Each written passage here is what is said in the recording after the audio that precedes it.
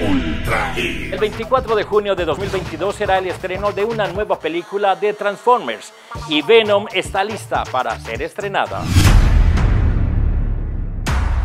Paramount Pictures ha anunciado una nueva película de acción real de Transformers para el verano de 2022. Pero aún no está claro si se trata de una secuela de la serie principal o de su reciente spin-off de Bumblebee. Bumblebee, solo hay una manera de terminar con esta guerra.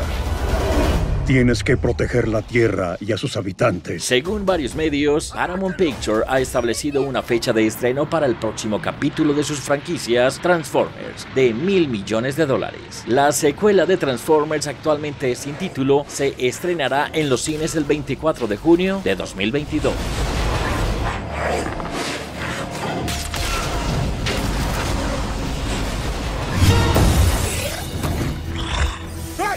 ¡Ay! ¡Hijo de... Oye, sí, sí puedes contra él, ¿verdad? Sabe un montón de trucos que en tu vida has visto. ¿Qué significa? ¿Qué probabilidades hay? Básicamente, cero.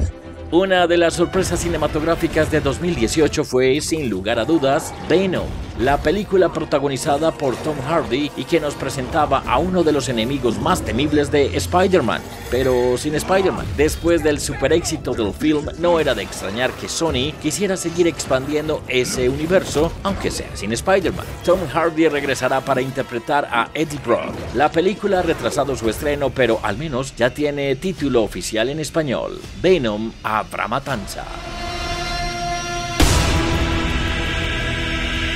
Ultra.